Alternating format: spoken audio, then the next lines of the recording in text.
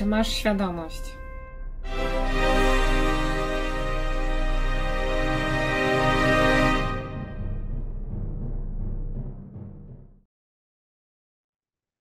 Projektując regulacje dla sztucznej inteligencji, powinniśmy prowadzić i czytać badania dotyczące postaw, opinii i potrzeb użytkowników, czyli ludzi po prostu.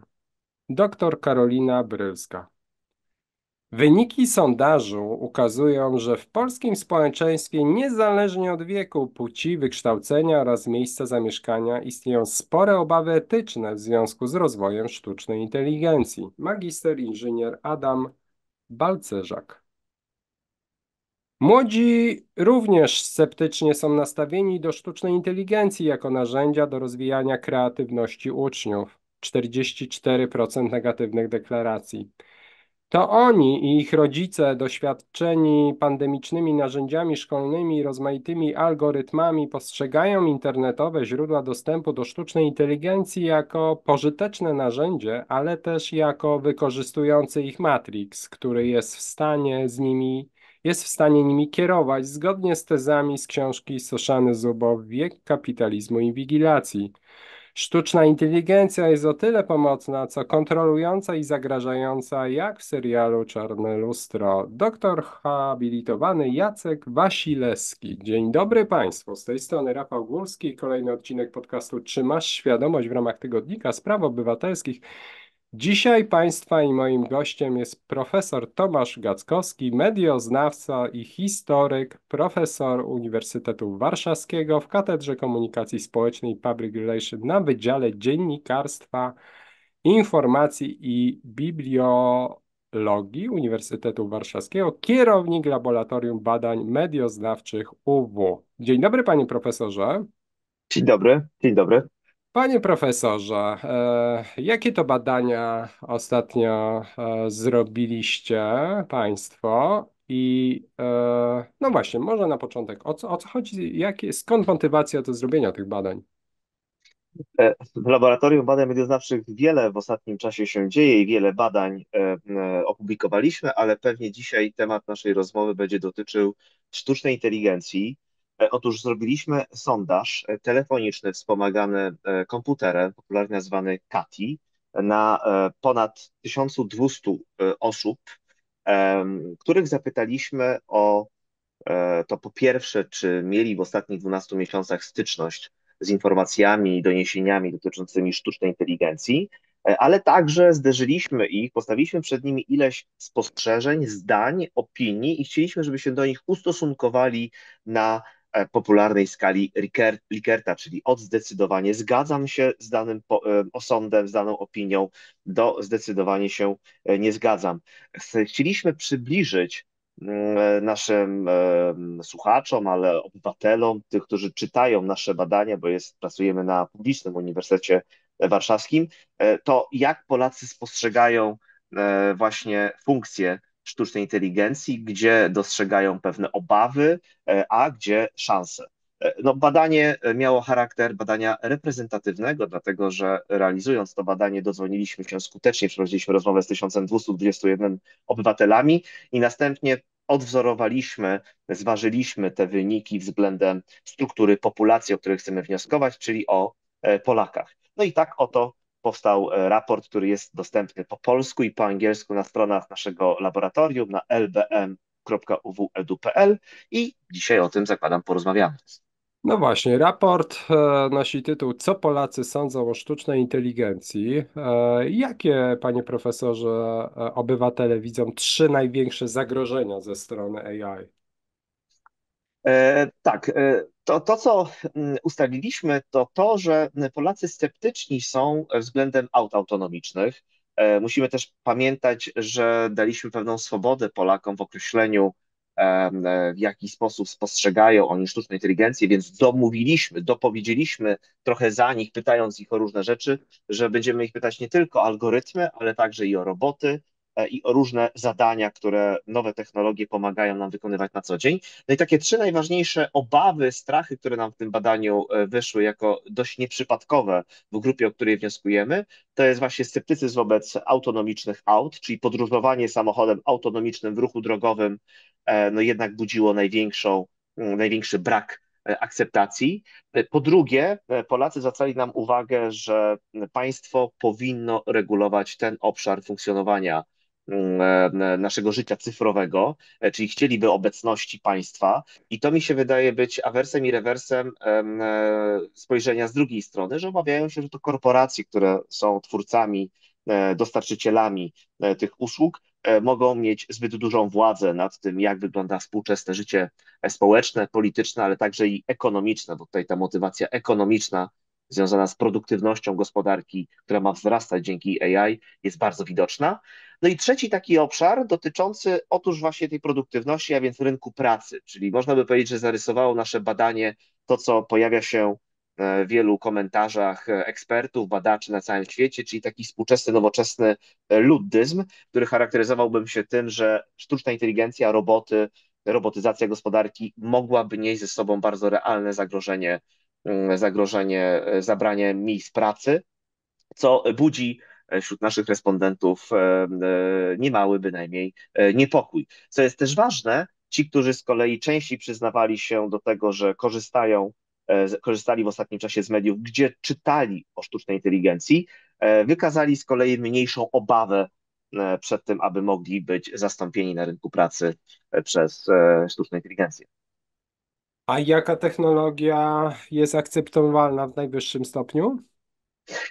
Ta technologia, respondenci powiedzieli, że wspierają i interesuje ich ta technologia, która pomaga im w ich codziennych, mozolnych, czasem nudnych pracach E, bardzo często też, e, kiedy mówiliśmy o robocie, często się pojawiały skojarzenia z robotem e, kuchennym.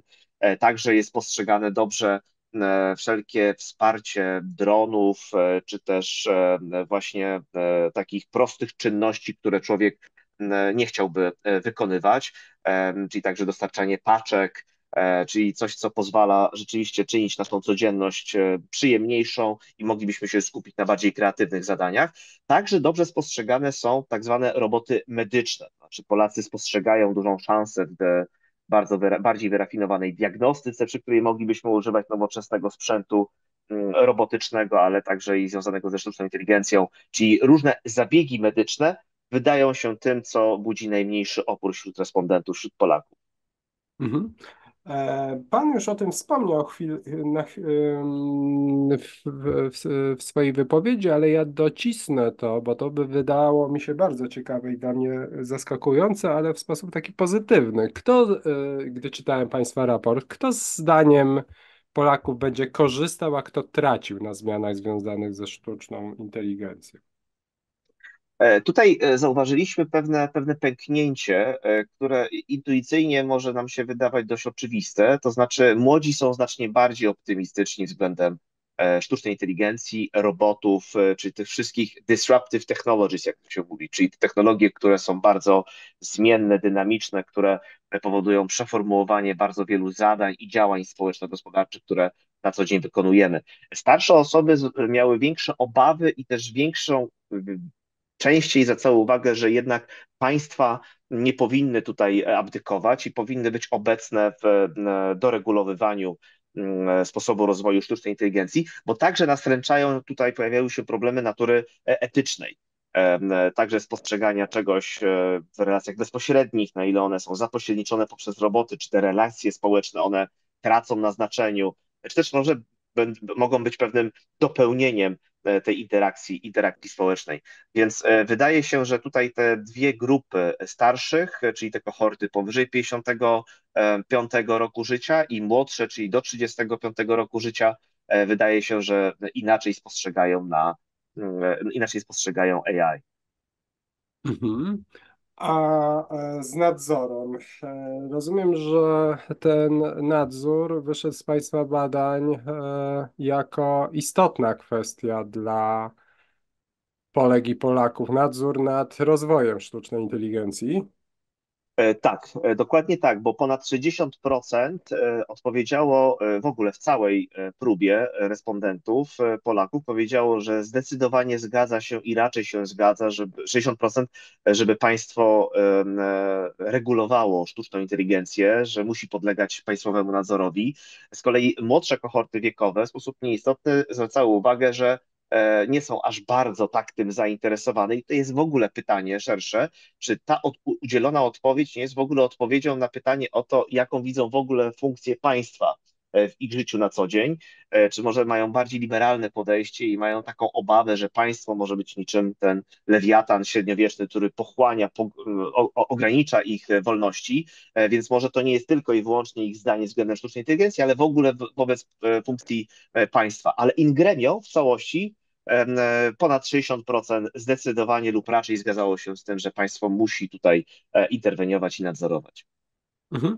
Ja nie wiem, być może nieuważnie przeczytałem ten raport, ale mi się od razu nasunęło takie pytanie, ale rozumiem, chyba Państwo nie zadali tego pytania, czy Polacy widzą jakiegoś strażnika e, praw obywatelskich e, w organizacjach e, społecznych, w organizacjach pozarządowych, które zajmują się kwestiami AI.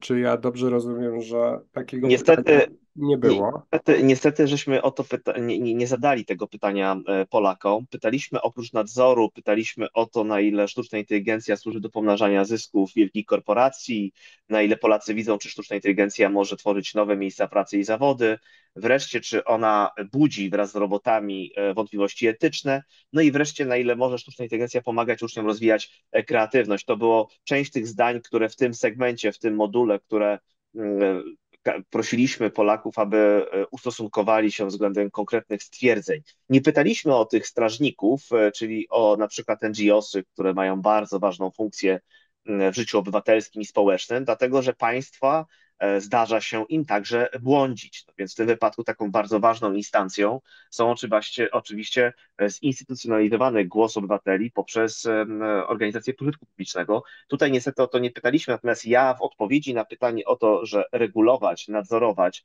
wydaje mi się, że e, część osób pewnie gdybyśmy dopytali, zgodziłaby się, że E, to nie tylko państwo, ale także organizacje pożytku publicznego, społecznego powinny patrzeć możnym na ręce e, i alarmować, mieć tę funkcję e, alarmu, prawda, kiedy ktoś się próbuje włamać do naszych danych w sposób nieuprawniony, czy też stworzyć rozwiązanie, które mogłoby nam bardziej szkodzić niż, niż pomagać. Więc tutaj jestem optymistą i wierzę, że mm, tak, tak, tak mogłoby wyglądać dopowiedzenie ze strony respondentów.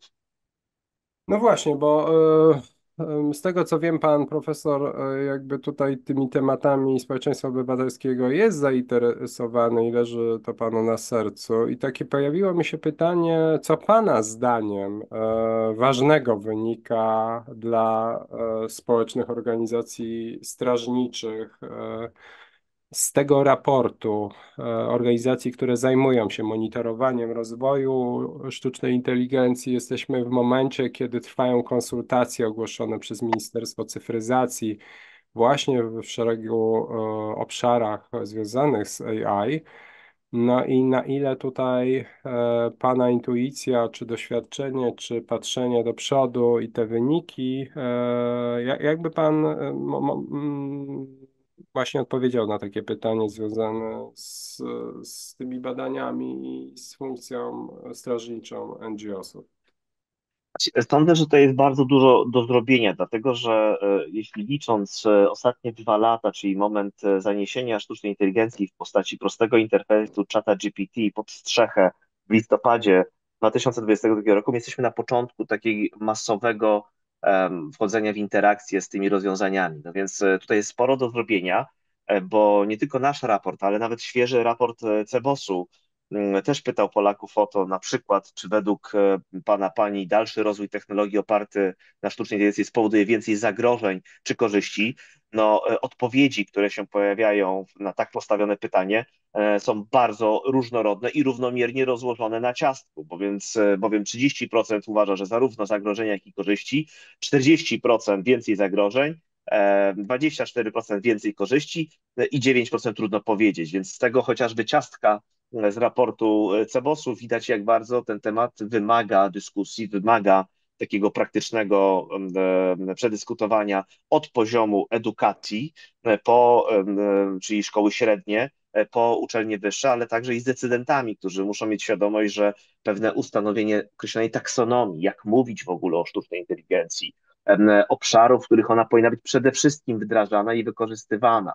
E, wreszcie po trzeci, czy czasem nie grozi nam e, ze względu na te technologie, pogarszające się, pogarszające się relacje międzyludzkie, zwłaszcza w młodszych kohortach, czyli tak zwane zagrożenie eskapizmem, e, czyli izolowaniem się od rówieśników celem oddawania się życiu cyfrowemu, w którym możemy odnaleźć bardzo wiele różnych emocji, stosunków, zdarzeń, które nie możemy dostarczyć w życiu pozacyfrowym.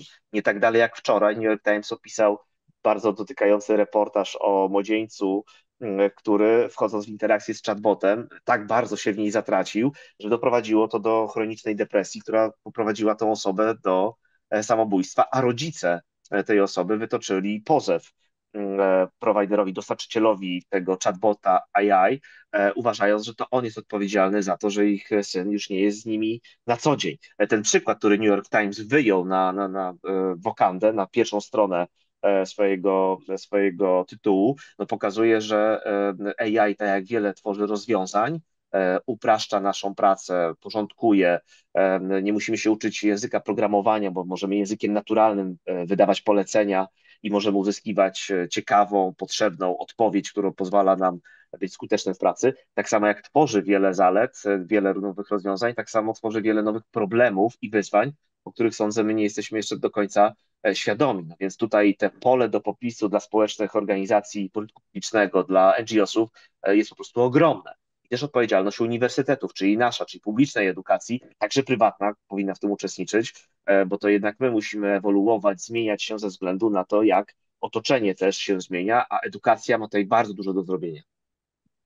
No tak, to jeśli chodzi o debatę publiczną, to wydaje mi się, jakby zgadzam się, że mamy dużo do zrobienia, szczególnie o udziale społeczeństwa e, w tym, co się dzieje z AI. Mówię to na podstawie tego roku, kiedy uczestniczyłem czy, czy w Forum Ekonomicznym w Karpaczu, czy w Forum e, w Krynicy, czy w Europejskim Forum e, Nowych Idei w Sopocie.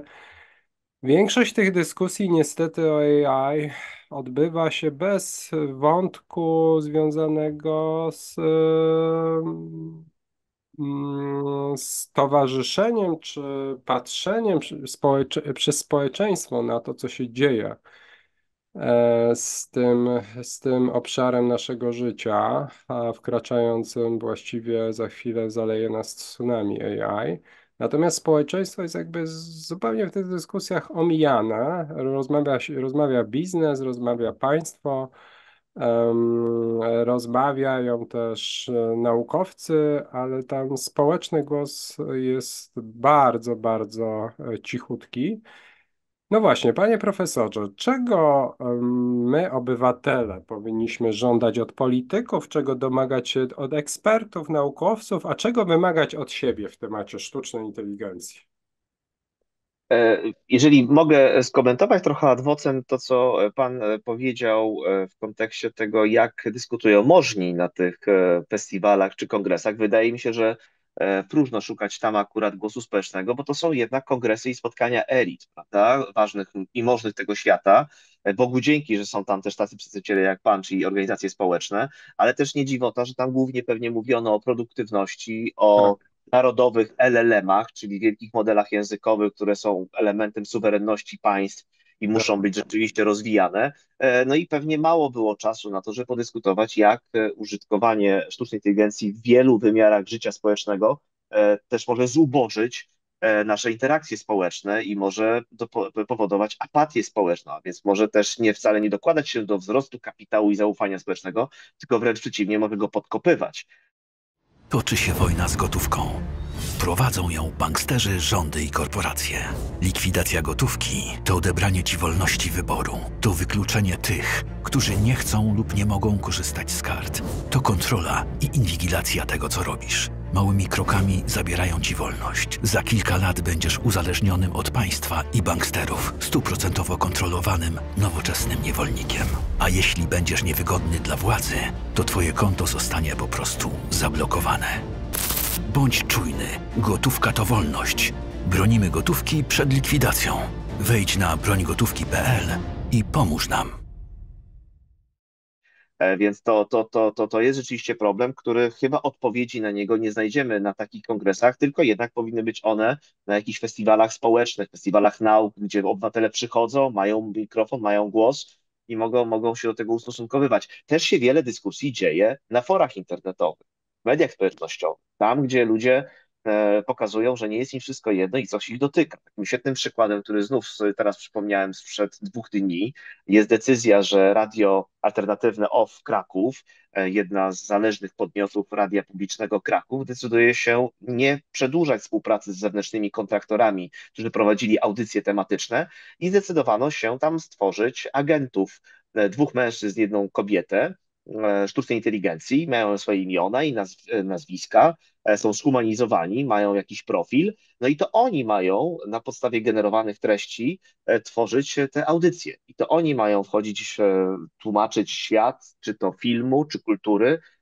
słuchaczom. To wywołało ogromne kontrowersje. Raz, że decyzja o tym, że oto tutaj widzimy, że miejsce pracy jest zajmowane przez sztuczną inteligencję, radio, które ma trudną sytuację finansową, no, jak to mówią, no, tonący brzytwy się chwyta. E, także tam była ogromną kontrowersję to, że wywiadu udzieliła Wisława Szymborska, która jak wiemy nie żyje od 12 lat i była, dy, dyskutowała z innym e, modelem, agentem e, AI, co powoduje, że tak naprawdę ta rewolucja jest tu i teraz i ona się nam podoba bardziej E, co, co jest akurat w mniejszości, patrząc po komentarzach osób, które, którym nie było wszystko jedno w tym temacie, no i też e, mniej.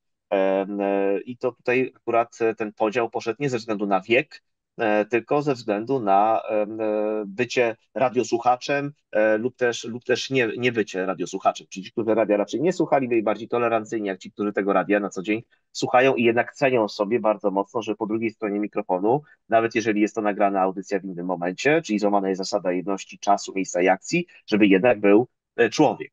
To pokazuje jeden problem zasadniczy, który my musimy uwzględniać w dyskusji o technologii takim, to mi trochę przypomina sytuację z wirtualną rzeczywistością sprzed 15 lat. Pamiętam wtedy, jak Harvard Business Review pisał, że wszyscy prawdopodobnie w 2010 roku na Boże Narodzenie znajdziemy tam gogle VR.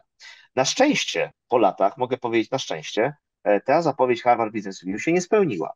Bo co robią e, gogle wirtualnej rzeczywistości? No one przede wszystkim pozwalają odkrywać nam inne światy, co jest zaletą, ale przede wszystkim separują nas o interakcji społeczno-rodzinnych. Bo jeśli by wszyscy mieli w rodzinie dostać takie gogle pod choinką, to mamy do czynienia z izolacjonizmem rozkładającym się na różnych poziomach. I te gogle VR, one nie znalazły swojej funkcji, tak jak zakładano, że każdy będzie rzeczywiście z nich korzystał na co dzień. Nie tak dalej jak wczoraj, Apple ogłosił, że ich nowe gogle do rozszerzonej rzeczywistości zostaną do końca tego roku wycofane w ogóle z rozwijania produktu, czyli nie będą wspierane dalej. Okazało się, że jest to technologia zbyt mało socjalizująca, zbyt mało społeczna, aby móc być używana w sposób masowy. Telefony, smartfony, które sobie e, kupujemy i dajemy bliskim na podchoinkę, są rzeczywiście takimi, taką technologią, która bardzo jest zazdrosna i zabiera nam sporo czasu. Natomiast ona może być towarzysząca i uzupełniająca naszą interakcję społeczno-rodzinną, jako jesteśmy po prostu zwierzęciami społecznymi i tutaj to jest bardzo ważny element. I teraz pytanie jest, które należy postawić, czy rzeczywiście AI będzie tym typem technologii, które po, pozwoli nam być bardziej ludzkimi, bardziej społecznymi, czy wręcz przeciwnie, e, będzie nas izolował, e, będzie nas e, separował i będzie nam przekonywał nas do tego, że coraz mniej siebie nawzajem potrzebujemy. I to oczywiście zależy od tego, kto jest kogoś szefem, przełożonym, kto ma jaką przewagę symboliczną nad kimś innym, kto kogoś może zwolnić, a kto kogoś może zatrudnić to jest wiele zagadnień w tych e, naszej rozmowie, którą tutaj prowadzimy. E, no, wypunktowaliśmy bardzo wiele dużych tematów, które naprawdę są przed nami do wydyskutowania i także zamienienia na jakieś e, regulacje, także prawne, które pozwoliłyby rzeczywiście tworzyć lepszy, lepsze jutro. No dobrze, panie profesorze, ale wracając do tego pytania, czego powinni obywatele żądać od polityków, czego domagać się od ekspertów, a czego wymagać od siebie? E, no to, to, to już bardzo krótko. E, po pierwsze, od polityków opresji wobec firm, które rozwijają te, e, te rozwiązania.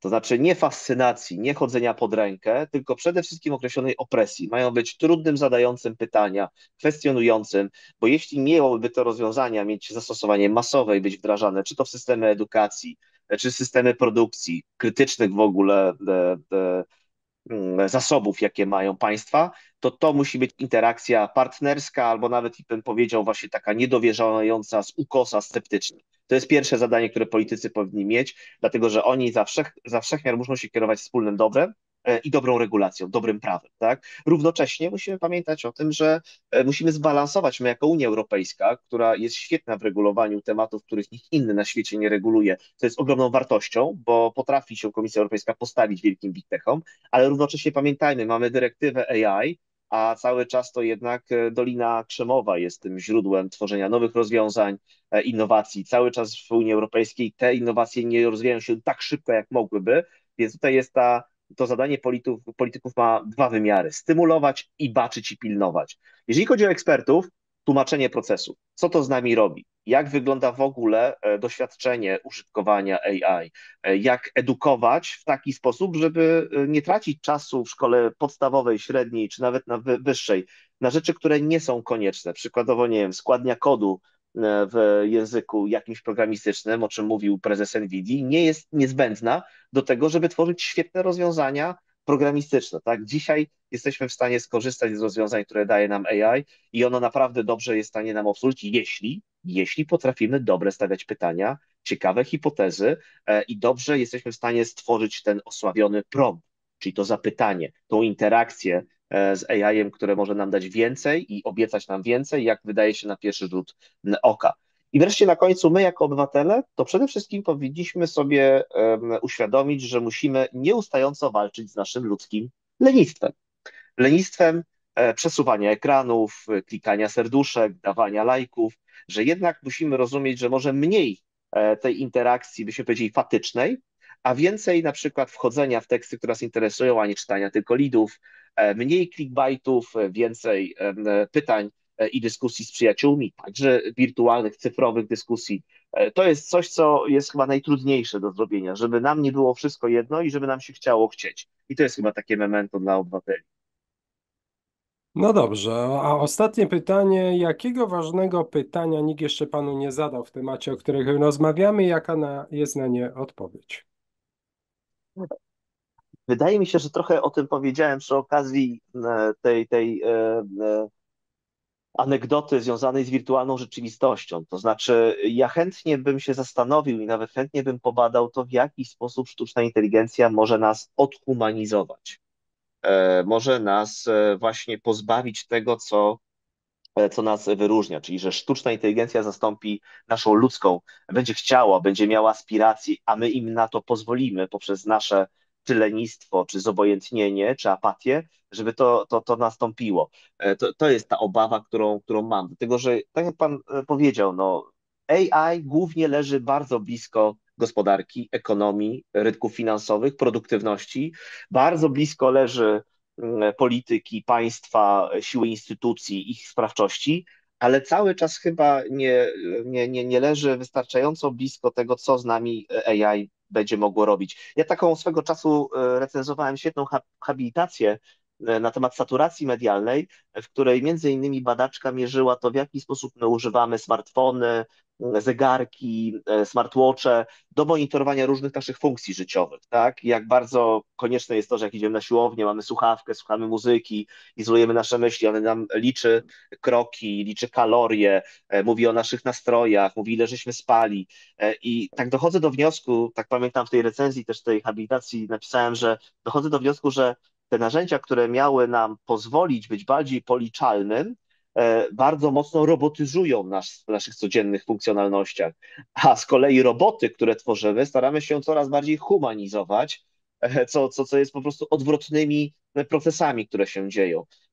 Nie to, że mam odpowiedź na to, do, do, w którą stronę zmierzamy, bo to jest bardzo wiele cech też osobniczych każdego z nas, ale jest takie zastanawiające, że i tu bym chciał poszukiwać odpowiedzi, na ile AI może, może nam skraść naszą taką humanistyczną stronę interakcji społecznych. I tu mam pewną obawę. To mi przypomina artykuł e, z publikacji SGH-u, gdzie profesor Mączyńska zaczęła cykl tekstów właśnie o odhumanizowywaniu mm, przez AI naszego gatunku. E, bardzo ciekawe wątki. No dobrze, to w tym e, miejscu postawmy kropkę. Dzisiaj Państwa i moim gościem był pan Tomasz Gackowski, profesor UW Uniwersytetu Warszawskiego, kierownik Laboratorium Badań Medioznawczych. Panie profesorze, dziękuję za rozmowę. Bardzo dziękuję. A z Państwem żegna się już Rafał Górski, kolejny odcinek podcastu Czy masz świadomość w ramach Tygodnika Spraw Obywatelskich już za tydzień we wtorek. Do usłyszenia. Dziękujemy za uwagę i do usłyszenia w następnej audycji Czy masz świadomość. Wszystkich naszych podcastów możesz słuchać na portalu Instytut Spraw Obywatelskich.pl oraz na kanałach Instytutu Spraw Obywatelskich w serwisach YouTube i Spotify. Słuchaj, myśl, działaj.